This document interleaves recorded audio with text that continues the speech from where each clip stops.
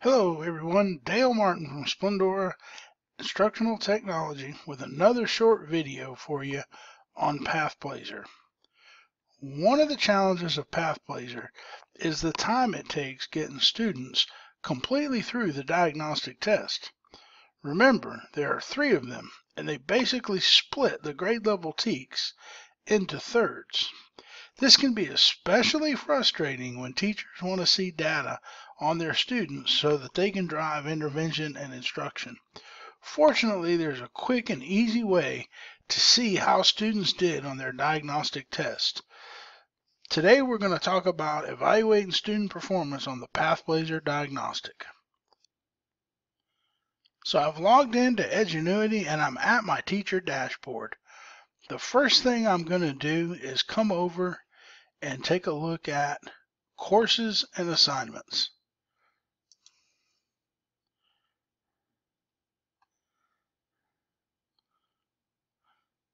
Then I'm going to click on class progress. This first box will give this click in this box will give you a summary of the assignments for the class. That's all of these right here. A blank sheet means that the activity is incomplete and a blue icon means that the activity is complete. Most of these are C and B tests, so we haven't done those yet.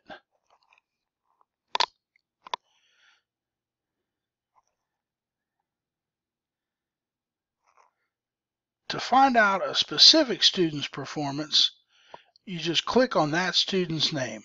This is a demo account that we have set up but watch what happens when we click on Demo Dale. We get a similar box, but this time we see that he has been working in Diagnostic A pre-test 6th grade. If I click on that test, the name of the test, I can actually come up here and click again and actually see the student's test, um, the questions just like the student saw them which probably isn't very valuable.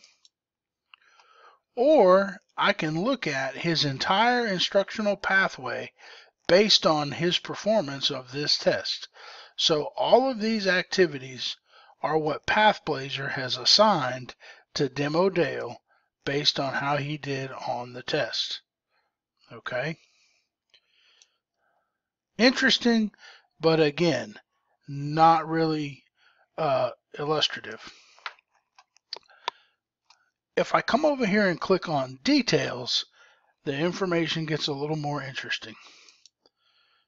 Now I get a second drop down box that gives me an assignment detail specifically for Dale's test. Again, if I click here, I go back to each question of the test uh, as I showed you before. But when I click on the score, the 62%, that's when I'll get a test summary on how Dale performed on the math assessment. This is powerful information. It lets me take a look at how he did by standard on the assessment.